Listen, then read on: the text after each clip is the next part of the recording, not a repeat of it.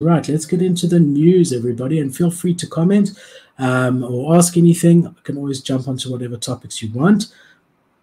All right, so the big news of this week, the biggest news, and there's quite a lot of big news. The biggest news is we've got Apple, right, has decided to let developers sell NFTs inside of games or apps that are on the App Store. All right, so this is mass adoption, eh, bottom line, because if you want to get NFTs on every phone.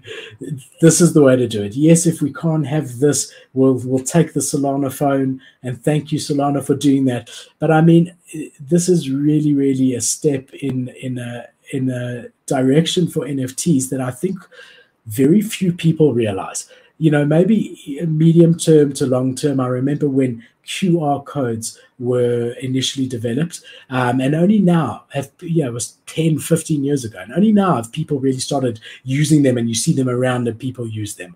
NFTs were, were originally developed about 13 years ago. Um, and so we're a couple of years out of mass adoption. It is more complicated than a small QR code. So it's more like when the internet was, was developed uh, versus mass adoption, which was 25 years, or the mobile phone or anything like that.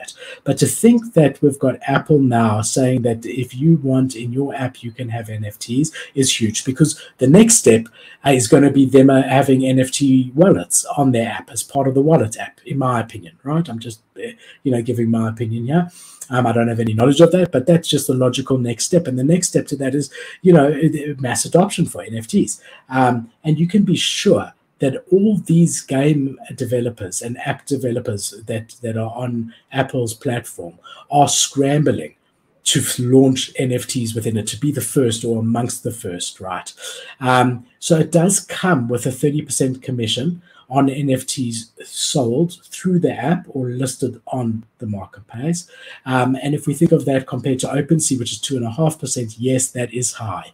But if you think that it exposes NFTs to a billion people overnight, you know, then it's well worth it. I'd rather have a smaller piece of a massive pie than the entire small pie, right?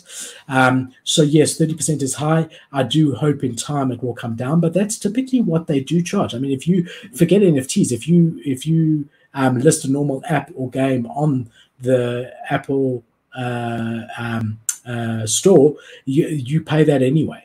So, look, I think we got to take it for what it is. It, in my opinion, it is incredibly bullish for the space um, and something we should all be really, really excited about. Um, so, yeah, man, I'm, I'm really happy that this happened.